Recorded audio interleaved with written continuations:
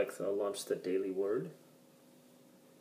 Your word of the day is tintinnabulation, meaning the ringing or sounding of bells. T I N T I N N A B U L A T I O N. Tintinnabulation. Tintinnabulation.